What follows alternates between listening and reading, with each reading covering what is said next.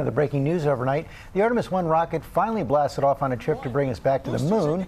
Transportation correspondent Gio Benitez watched it live from the Kennedy Space Center. Good morning, Gio. Hey, George, good morning. It was a stunning launch, and you could really feel the power of that rocket as it lifted off there. Now the Orion capsule is on the way to the moon, with America making history yet again. Three, two, one. Overnight, after three delays since August, a major breakthrough in space exploration. We rise together back to the moon and beyond. The most powerful rocket in the world, the Space Launch System, propelling the Orion capsule toward the moon with 8.8 million pounds of thrust. Orion already feeding back stunning images of the Earth from space.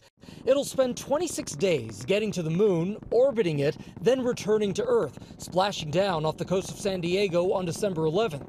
Launch director Charlie Blackwell Thompson, the first female launch director, taking in the moment. On behalf of all the men and women across our great nation who have worked to bring this hardware together to make this day possible, and for the Artemis generation, this is for you.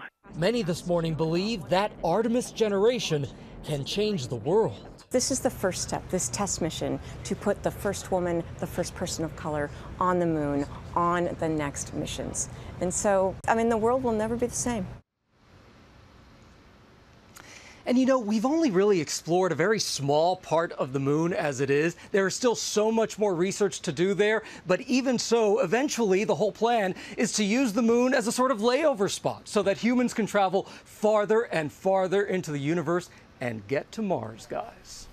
I love your enthusiasm. We love your enthusiasm, Gio. I can see Gio in the spacesuit when he was saying that. I think that would make him happier with actually being on the Artemis 1. Good for you, Gio.